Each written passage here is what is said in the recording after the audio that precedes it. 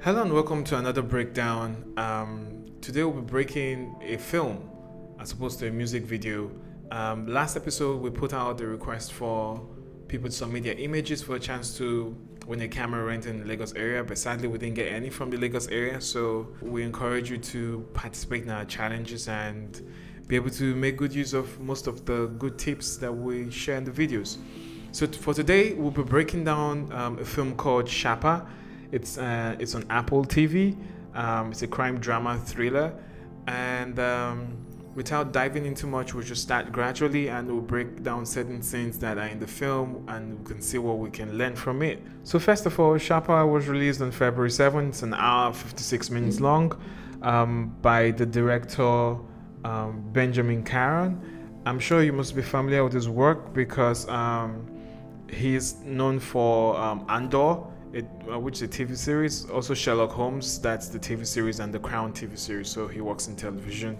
Cinematographer's name is Charlotte Bruus, and we know her work from. I've seen Girl on the Train. I could remember that.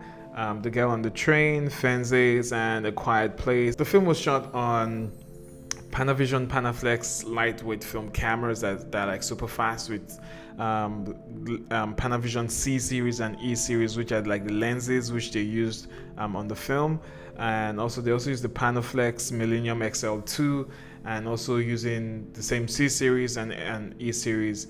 And they predominantly shot on Kodak. So we'll just dive into some scenes. If you have not watched it, um, there's a whole loads of spoilers that I'll be like dropping about the film, so you better pause this video and go and watch it before I start spoiling the film for you. That being said, all spoilers, disclaimers. Now let's move into the film. So I'll play the opening scene from the movie. Uh, this is where the guy is like closing down the shop, and the girl comes back because they had like an earlier exchange of she wanted to rent a library book and she didn't have cash and he gave her the book and now she came back with the cash to give him the book and he's like okay he's okay not now not today because he was hoping to score a date on second entry but she gave him the cash nonetheless so if you look at the bts right you can see due to the nature it was shot on film right a lot of it was shot on the dolly. You can see they're using like a three feet offset. Um, I would I would try and show that in the frame. You can see that there's like an offset there which the DP is holding to like give an extension away from the camera, while the base is somewhere um, here where this guy is blocking. And we have our boom guy, and if we continue. Um, if we come if we continue throughout the frame you can see the time of day here it's more looking like a 4 o'clock 4.30 where the sun has just gone behind the high rises on the street so you have like skylight on which makes it a lot more soft and a lot more pleasing quality of light. Um, as opposed to and let if we go back into the film like where the conversation exchange happens here so you can now see how um, the, the lack of light coming from the store creates like negative feel right? And we have all of the skylight that's coming in here and actually keying them from the face. And if you look at the reverse this time I believe the sky has gone way down. And the reason why I would say that because if you look at the background now you can see how that building is a lot more darker. Although this could have been done in post you get or um, or it could have been done um, in the grade. But it feels like if you look at here the light that's coming in from um, say here it's looking more as like a source like a unit that's set up on a big large bounce that's pushing through a diffusion or something to be able to open up this area and probably like a skip bounce for this reverse as opposed to um, if we go back earlier in the frame and you look at let's see the ambience here also it's way different than when we get to um, this part of the coverage yet. So I guess by the time they start shooting this part of the coverage, they've lost more light or or they close down or the colorists decide to close down on the gaps. If we turn on false color to look at it, you can see they literally went bold on the film, allowing it to like drop into the shadows. You can see the skin's barely underexposed which is where um, black skin tones to, should exist though which is like half stop on the exposed from the from neutral gray. You have the stone has like a negative feel and the skylight becomes like the ski and he's like underexposed too. So yeah there's all of that that's going on for the entire film giving making fall into deep shadows. Just soft wrap from the sky. We cut to the wide shot where we see them walk away um, and the lead, which is also you can find in the BTS when you get to see them walk away here. Um, if you look at the entire kit, that's like the film camera, the Panavision with the film magazine that's actually here.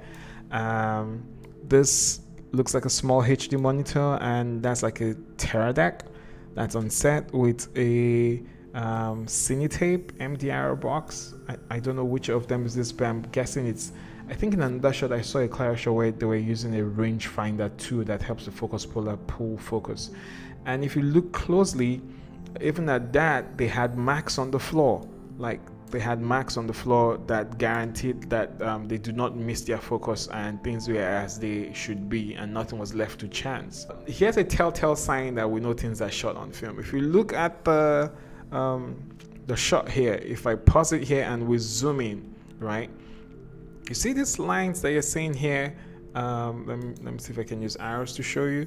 You see these lines that you can see here, right? All of them. You see all these lines that's at the edges of the actors? Yes, those are what we call halation. Film gets like produce them based on um, um, how light goes into the emotion and scatters and reflects back and all that photochemical reaction that actually leads to all of this bleeding edge that happens that gives this red glow around the subject. And if you turn on false color, you see that's just literally silhouette, like it falls literally into the darkness. So you can see between them, there's about eight stops of exposure in this scene in the entire dynamic range of the scene like from the window to the darkest area which is like the floor there's like eight stops of of um, dynamic range data that that film can capture. You can recover a lot from those highlights. You you usually it's very difficult to clip on film because the highlights even when they clip they roll off beautifully. Here to balance out the window, there's like a source coming in here that's actually raising the level of the face so they can because this is a real location. There's some other locations that felt like it was done in the studio, but this is a real location. So there's um, that's that's the source, and we get to see that in the BTS yeah so there's the bts we can see they're like on a dolly with a remote head that's actually um, holding um, so they're not using like tracks on this one in a way because it almost looks like it has like a z-axis because of this um, thing here almost looking like the whole DJI z-axis contraption but like a bigger version that holds a film camera and you have like your number three axis gimbal here that's actually working and that's like a dolly grip that controls it. He has his own small monitor so that he could actually see the frame. And when he walks on this uneven floors the three axis stabilization takes away all the unevenness that happens um, around the footage. And here's the rangefinder I was telling you of yeah that connects to the Cinetape which was on the camera which I showed you on the on the other shot. Yeah it was here. Yes this is it. The Cinetape was here. So this is the rangefinder what it does is reads the focus distance of what's in front of the camera and allows the focus puller to be able to get accurate distance measurement. Because it's film it's more critical because it's not like digital where you can go and check and see live feed you get. So just just like a video tap where they get out of the camera to be able to see um, an approximation of what's going on. So it's really really critical for them to be able to nail in their, their focus. And they don't get to play like us where we do put our lens on the 1.5 or or a 1.2 or an f1.2 and say okay allow autofocus take control of that because that shallow depth of field will be too shallow for um, film. They usually make sure that a 2.8 or at, uh, or even a 4 depending on the scenario. When they're looking this way now they're looking into the shadows um, that could be like a bounce light because it's not as intense as it was when you were looking out the window you guys because when you're looking at the windows very intense so that they can hold those sky highlights at the time of day that they were shooting because it's it's looking like that's like the direct sun you get you can see it on the floor. And to compete with that they would need to be able to bring in some real serious firepower. I will not be surprised even that's an m40 that they bring in to be able to hold against the window this is where they just came from a fundraiser and he's head over heels for her and um, they go up to their mansion and why they go up to their mansion and he's walk into a con whereby this guy is not like a real cop it's not like a real cop and it's like the son they're all faking like some drug abuse and stuff like that. If you look at this frame, something that's interesting, if you check the false color levels, same thing is still going on for the footage. So if you check the false color on on it, you can see like even the Caucasian skin tone is like one stop on the exposed and everything's just playing on that very undertone whereby it gets not too murky not too gritty it actually takes a professional to do that because you can see how they can like edge light them from their surroundings and you can there's like some kind of rigged up light up there that's like actually creating this accent which um, i believe the structure here it's preventing it from hitting her. But there's another light source that's coming um, that's coming this way if you actually see like a tungsten source that's actually keying him. And that's how it presently is in the scene. Um, there's a different setup where we can see like now she has like a soft key here um, that's actually um, let me see if I can um, elaborate on that a bit. So she has like a, a 5600 like some kind of daylight source coming in and there's also like some um, tungsten practical source that's probably backlighting her head um, for this scene though. And it goes in and they have this conversation for a while. She tells him she's disappointed and he's a fake cop. He shouldn't give him any money. And this is what his son's um, his son does. Like he's a 419 um, sorry he's a scammer. There's no such 419 is a Nigerian thing. It's not a global thing. So he's a scammer. Okay, so if we go to like the behind the scene, you, we get to see it properly. Now that's the source we're talking about. That was like creating like the whole daylight pool. In fact, are even two of them. There's like one coming in that's hitting this guy. There's this that's coming in that's actually hitting the guy. We have our orange, our tungsten source that's actually creating um, the mixed color temperature whatever stock they're shooting, they actually um, try to balance it out properly so that it actually um, gives this whole richness to the entire stock. Yes, there's a lot of that. And here's that same place again before they walked in. Now you can see this is the um, source 4. I believe it's a source 4. Yeah, it, it actually looks like a source 4 that actually um, bringing the whole tungsten light. And remember that we had like daylight coming in from um, this other corner to why they were standing there and these are like their marks on the floor. You get where and who goes what for the entire focus pulling and that's like a polecat that is holding the source 4 which will become the lady's backlight like we saw in the previous shot where she was backlit by by it. This is it where she's backlit by it. And that's where the light is that's doing that whole trick for her. And yes we have like the sky panel which um, I believe this goes in through some diffusion. I'm not sure they left this on like this. Uh, and you can see how bright the room is as opposed to how dark the film is.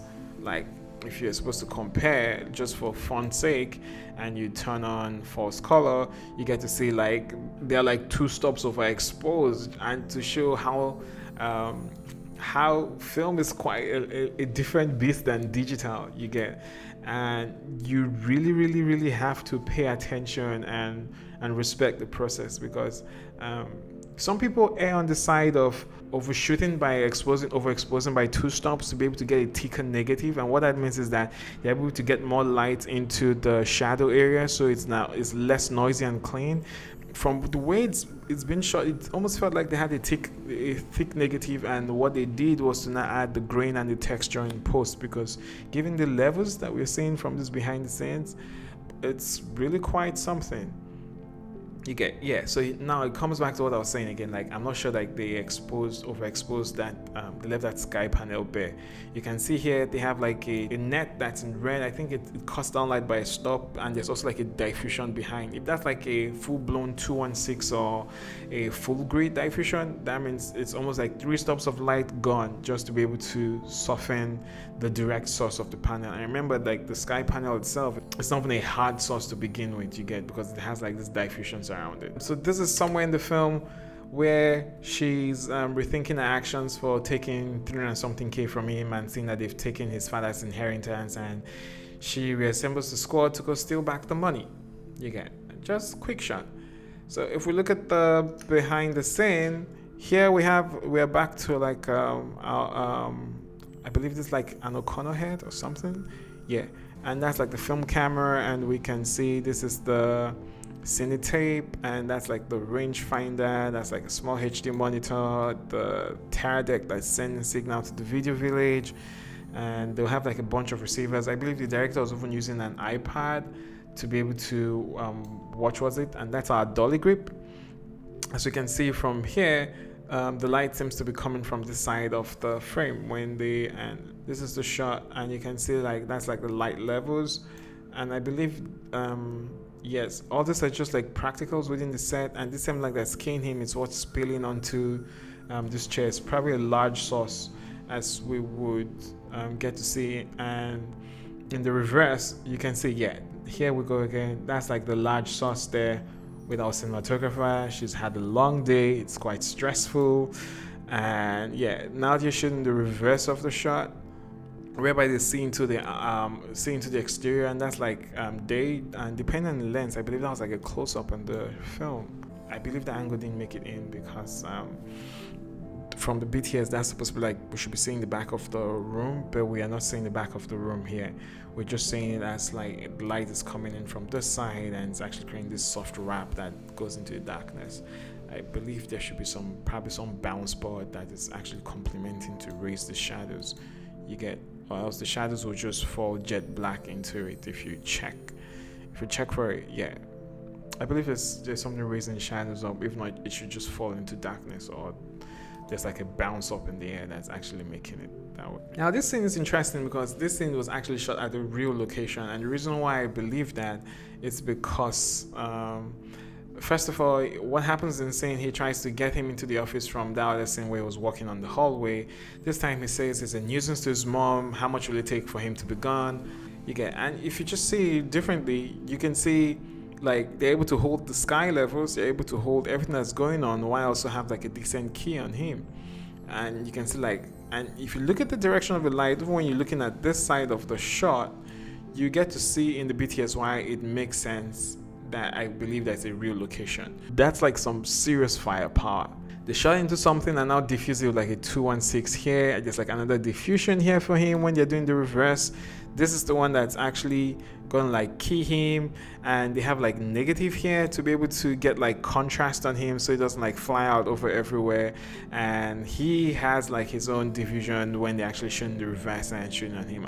The entire camera language emotion language of the film was shot on a dolly. Like it's it's either dolly or steady cam because it has this stableness it has this pristineness that actually goes with it that you can almost tell how it was meticulously planned out. It's not left to chance. There's no handheld camera work. There's no any of those raz energy that exists in the entire film. Everything is just meticulous and smooth and even. You get that shows the character state of mind and kudos to the entire cinematography team and kudos to her for coming up with that brilliant camera language to be able to showcase um, um, the character's emotions you get that became the camera emotion for the film. Now, this thing is interesting because this one I do not believe um, it's a writer, it feels more like a set. And I would show you why in the future. So they had like breakfast in the morning, and she has like um, talking about her son and and like prepping him and stuff. And here you can see like this is set as sun rays. Here we can see the light directions going this way but somehow there's another light coming in and kissing him. You get if it was a real location I don't know how tall up in the air this would be, but I almost feel this may be really expensive to achieve this kind of shot where you have like this edging him and also having maintaining light continuity. So yeah, we continue. He meets them in breakfast and she's like, oh, let's have dinner or something together. And she's giving me her time and stuff like that. And she leaves both grown up men very soon and gets out of the house and he sits in and they both, and he issues a soft threat to him like they should be friends. And he's like oh okay. But that didn't sound all friendly. But this is interesting though because in this shot here um, where she was i believe where she was here i believe the lighting was quite different based on how it shapes um, his eyes due to the camera. If we go forward into the shot again and look at that same lighting you can see it's somewhat more rappy and soft as opposed to um, when we first see it here. You get this is a different setup. But for this setup we do have for this setup we do have the bts the behind the scene.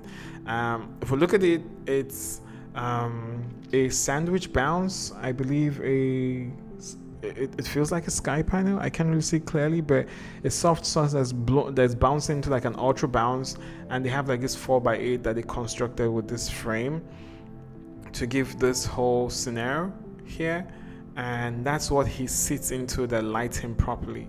Yes that's the director with his ipad here that's receiving the um, whole signal and that's like our dolly grip.